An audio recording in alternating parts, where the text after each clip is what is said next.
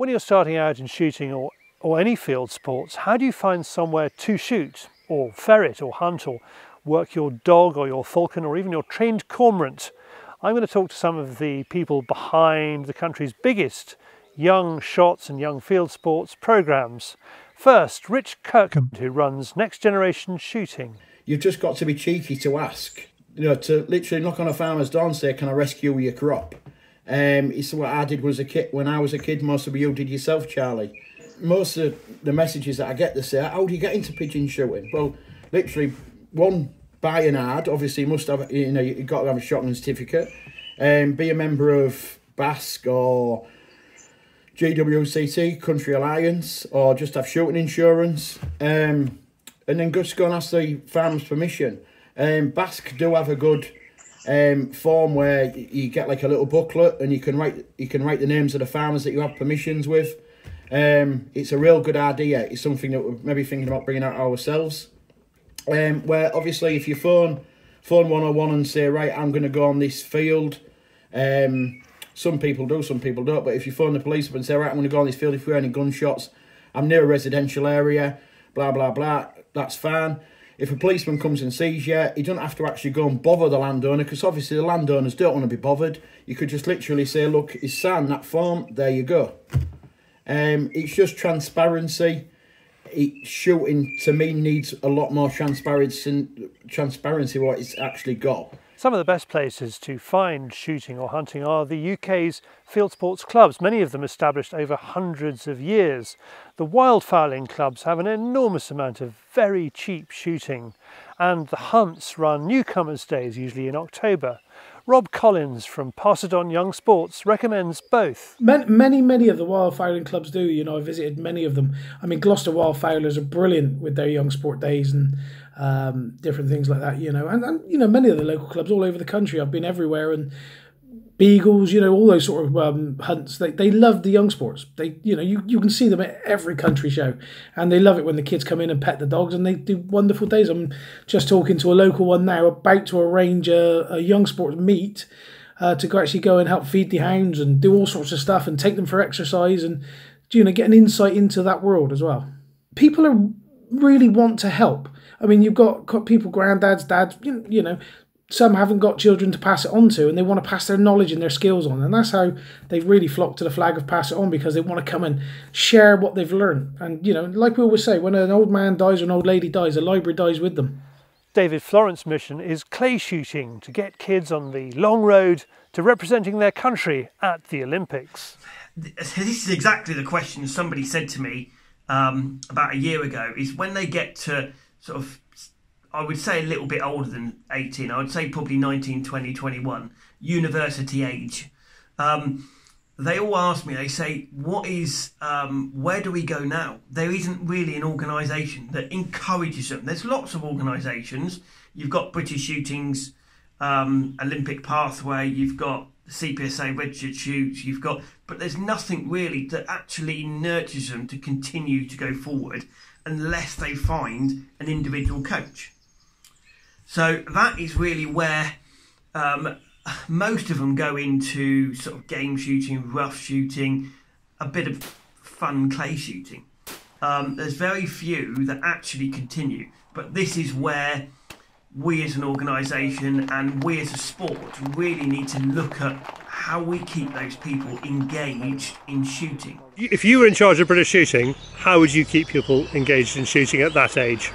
Really you need to you need to have a funding process because the one thing we're shooting is it's it's sensible money. If you if you want to get into shooting, you just want to shoot the odd fifty sporting or go out and shoot a few pigeons or um, rough shooting. It's fairly cheap to do, but the problem is with the Olympic side or the top side of shooting, it costs an absolute fortune to get to that top level of shooting, and there's no funding. There is funding, so British Shooting have got funding to go to the top. So the likes of Steve Scott, Amber Hill, which started in the TSC, um, they're all funded, but they've got to the top. But you've got that gap in the middle. So really, it needs like a school challenge, but 21 to 25 year olds. most of the schools challenge people they go to college or something like that afterwards generally they do a course for get for agriculture or shooting conservation something like that they make their friends within it um, and most of their friends of their parents have got farms or something like that and they encourage into like a small group and that's really the way it's been done so far so if you take you'll probably know him because you uh, will ford which is an ex TSC kid uh, used to do a lot of a lot of clay shooting. Um, he went from leaving school. He went to Harper Adams. Uh, he made a load of friends, rough shooting, game shooting, and he's moved up into the world of game shooting from there. So game shooting, rough shooting, pigeon shooting is probably easier to get into than clay shooting. David runs the Schools Challenge, which puts around a thousand school age kids a year through a holidays and weekends programme of shooting events, mainly run at his family firm's shooting ground, the Oxford Gun Company. The idea of the Schools Challenge is it's under 21s and you can be completely novice, so you don't even have to have picked up a shotgun, or you can be an out and out pro clay shooter. So the idea is it takes people from being completely novice to being able to compete in the Olympic Games if they want to. Good heavens. How many years does that take? To go to the Olympic Games is pretty much um, it's a, it's, unless you're Pete Wilson, which did it in four years, it's pretty much a ten year cycle, I would say. You, generally, the the Schools Challenge series starts in March and goes through to December. Um, most new shoot- shooters for TSC starting kind of January time. They've got a couple of months where there's no kind of events to get themselves up to scratch. Uh, and then they go through the year and they've started, they've bought themselves a gun, they've got themselves a shotgun certificate from all over the country. We've got it as far from Cornwall to Cumbria in, near Scotland and they travel up and they put the effort in, and then their idea is to start in March and then to go through the, the series from there. And you've got events taking place mainly at the Oxford Gun Company, isn't it? Yeah, we do have do have different events around the country. We are looking to expand it out eventually, but obviously this was 20, 2020 was going to be our year to kind of really boost it.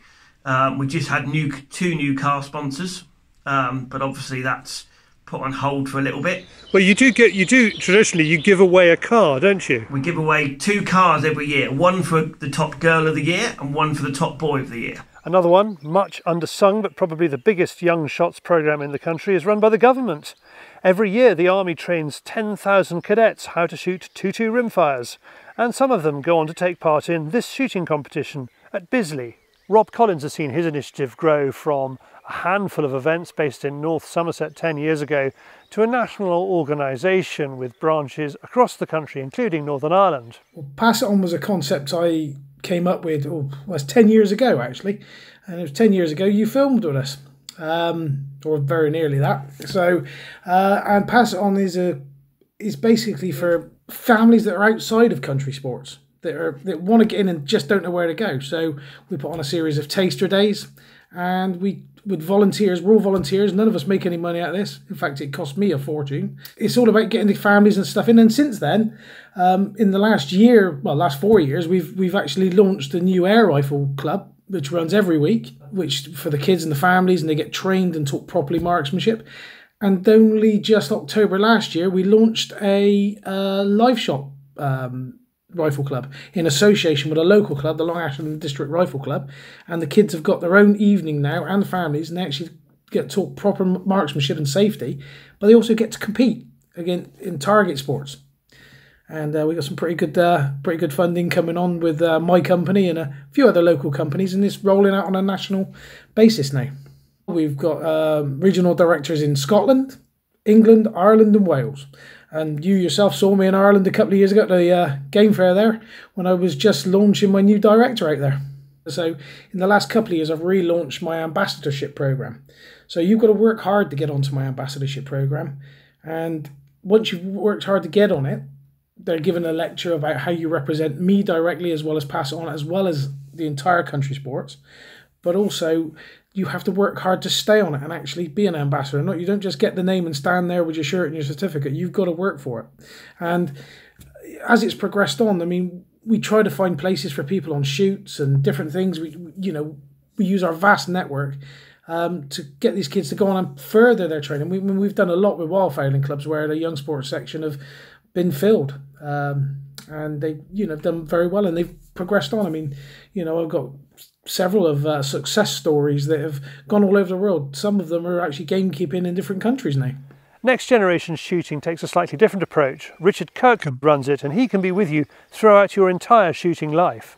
It started in October um, last year, 2019. The aim of it is just to kind of influence people into getting into field sports in the right way instead of just kind of predominantly just going and pulling the trigger. Um, just to give kind of children the experiences what I had when I was younger, like going beating, um, just general kind of field craft, um, and experience the real good things in in kind of our way of life.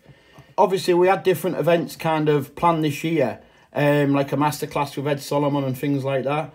Um, different dog training events and things, um, and hopefully visiting shows, having stands and things like that. But um, obviously, with the recent COVID nineteen things, we've had to cancel them. Um, obviously, as we're growing, was kind of we're predominantly on Instagram, Facebook, social media. Um, you know, doing different lives like with yourself, but um, within a year, I want to be out more. You know, obviously, when the season comes, we've got one of our ambassadors. We've got nine ambassadors that we um, mentor and look after, um, and hopefully, one of you know, we'll have some ab- absolutely brilliant videos with them in, in the season because we'll be going to actually visit them with the parents and things like that on, on the shoots that they go to. So quite a lot of it is is showing kids how other kids are getting into into shooting sports. Is that right? Into field sports? Yeah, that's right. It's kind of using it's like kind of using our ambassadors to kind of show to show how to kind of get into shooting, but also you know what you know what kind of they should be doing, kind of thing. Um, not what they should be doing, I suppose, but just the joys of other stuff. It's like Ruby, she's coming up on a grouse moor to go picking up. Um, we've already organised that with the keeper. So it's just kind of taking, it's kind of in a way, it's like taking them out their little safe environment and putting them in an environment that they wouldn't have really tried before. You could arguably say there's no right way, there's no wrong way, or well, you could say there is a wrong way of getting them in, but um, I'm just going through the like kind of the, the, the experience that I've had as a child. Um, it totally changed my life around did the, did the sport. That's why I predominantly started the group up because I just wanted to give a bit back. As shooting as a whole, I think we have actually missed out on a generation. Um, and if we can just say one, two, three, four percent, just help people along. If you help one, one, one person along, it's a ladder effect. They'll, they'll hopefully help someone else. Um, only a little organisation. You know, we aren't trying to break eggs with a big stick. Um, we're just here to guard people or to bring people on lives like yourself, just to kind of plant the seeds into people's people's minds and like literally watch the flowers grow. If you want to get involved in any of these groups, there are links in the description below. And Next Generation Shooting has its own grounds you can shoot over. As you know, I live in East Yorkshire. I've got three estates where they've all literally said yeah, you can you can come. Um, in our in our I, I don't like to call ourselves an organisation yet. It's more of a group. I've got around fifty six gamekeepers that literally love what we're doing and can I can go down there under under or the person can can go down. Obviously, if it's a youngster, hopefully they can go with the mum or dad, um, and they can go down there supervised with the landowner, and literally he can go through all the permission rights. Now, deer stalker Alex Vankov doesn't run a Young Shots program, but he has his own problems getting permission from local landowners because he has a Russian accent and he lives in Sussex in the south of England. He explains how he gets around that. I'm not quite sure that the actual reaction caused by the accent. It's probably more by the fact that they probably not used to see anyone else but the local guys to ask this sort of question. I mean, the accent obviously brings a different twist to the whole situation. Um, it's they usually ask you, "Come again." I bet they do. It- usually when somebody knocks their door and, and they have an accent, it usually would be a delivery driver or or, they lost. It's- It's not prejudice, it's just kind of strangeness, isn't it? So, how do you make yourself more pre- presentable to, to people so you can go shooting, so you can get that permission? Right. Okay. Um, well, I think it's it's pretty much the same the same advice and and and, and the suggestion as to everyone else. It's always comes with the idea dress to impress, uh, clean car, be nice and polite uh, as much as you can. But uh, in reality, in the last nine years, I've been sort of semi-professionally stalking in UK uh, and wildlife management. It's um, it comes as a sort of a second nature really you, you you need to become more professional on your qualifications rather than rather than just try to be lucky and knock the doors unfortunately the land is pretty much grabbed all around the country and um, the only way when you introduce yourself and uh, if you have a chance to get to the second stage when you actually start chatting to the landowner about what you offer or what you're asking for then you have a better uh, opportunity to get that permission if you have something to prove that you are serious about what you do. So, you need to show a farmer your BASC Young Shots membership or your Boy Scout shooting badge. Along with Browning Shotguns, BASC supports shooting sports and the Scouts movement shown here. And BASC's own Young Shots programme runs a series of activity days around the countryside and is a great club for young shots to get to know the sport and each other. It also runs initiatives in schools. And it is up to these organisations to welcome you in. The British Falconry Club once rather pompously turned down a 14 year old field sports enthusiast called Chris Packham. And look what happened to him. Alex is enthusiastic about these programmes.